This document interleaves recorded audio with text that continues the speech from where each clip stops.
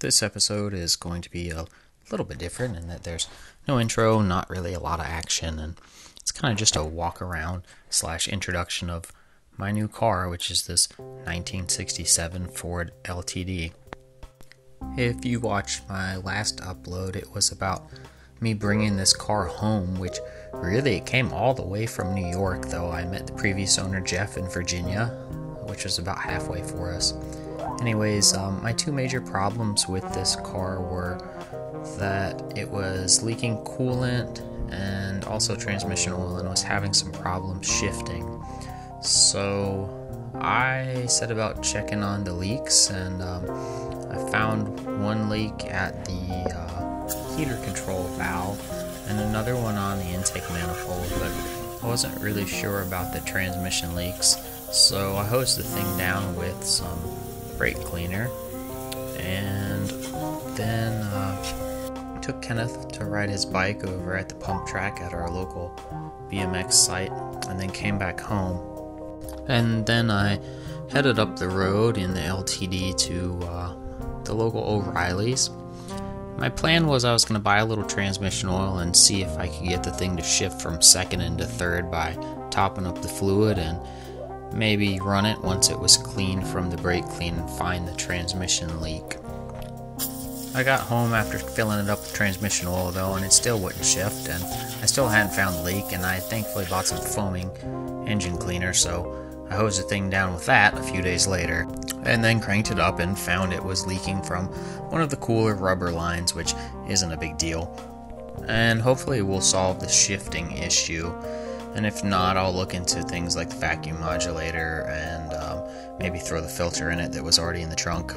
Anyways, the rest of this episode is kind of just going to be a walk around of the car and me talking about some of the various features it has and just kind of some of my thoughts about this car. It is really cool. It has pillarless hard tops, so if you saw that in the first shot, um, there's no B pillar between the front and rear doors, which I think is so cool.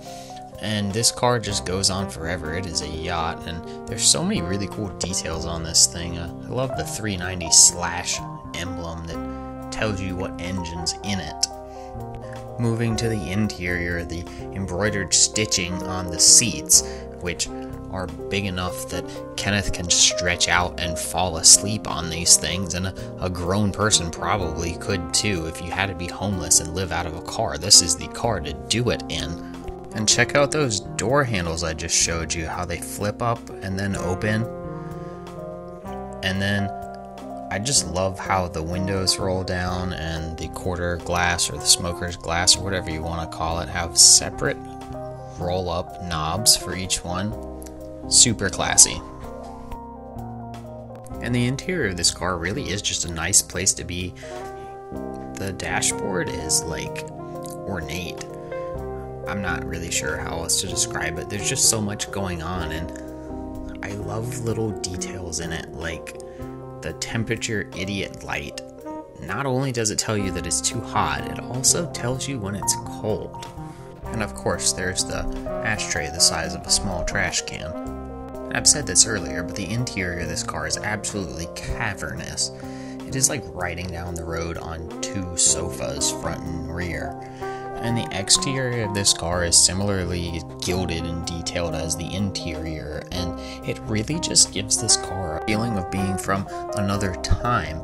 And there's a lot of really good reasons for that when you get into the history of this particular year model car. And I'll get to that in a little bit, but first I want to show you guys just some of the historical documents, I will say, that came with this thing.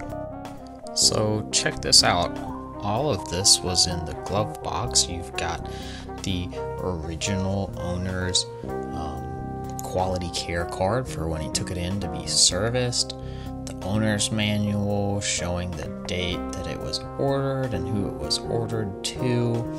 And when I was poking around underneath the car, I even found the original build sheet stuffed up underneath the dash and I fished it out and Unfortunately, it came out in pieces, but I spent like an hour and a half just sort of painstakingly putting this thing back together like a jigsaw puzzle and then laminating it because I just thought it was so cool. And I don't know, I, I just love documentation. There's a, a lot that goes with this particular car. And I think, in addition to all the documentation, part of the reason this car feels so special to me is because this is the first car that I've ever owned that really feels like a classic. Most of the stuff that I've owned has been 70s, 80s, and 90s. Um, I've owned some early 70s and even a 67 Volkswagen, but Volkswagens just don't feel like classic cars to me until you get back into the 50s. Anyways, I think part of the reason why this car just feels like it's from another time to me involves understanding how it came to exist. And the LTD at this point in time had just been recently spun off from the Ford Galaxie line, which was introduced in 1959. And in 1959, the Galaxie was based on the Fairlane, but by 1960, it was its own nameplate and it was kind of the top nameplate within the Ford lineup. And in 1965, there was a body style change, and that's where you saw the double stack headlights and the hexagonal taillights like this car has. And the 65 year model range topper was the Galaxie LTD, and it had standard features like courtesy lights in the doors, the glove box, ashtray in the trunks, and rear vents for a four door car, and uh, they advertised it having a liquid satin ride, which this car definitely has. It rides like a waterbed on wheels. And in 67, which is the year that this car is, LTD became its own nameplate, but it was only in this body style for 67 and 68. And then in 69, LTD continued as its own nameplate in a completely different body style.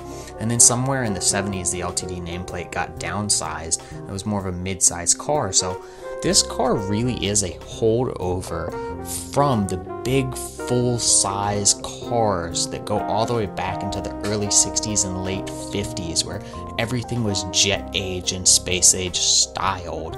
And I think that's why this car feels so special to me and like such from a different time. And I really meant to flip this car to have some more money to put into my Mercury and my Mustang, but I have accidentally totally fallen in love with it.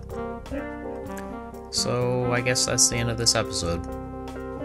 We'll see you guys next time. I have a lot of thoughts and options about where I could go with this car, and we'll make another episode about that. Thanks for watching.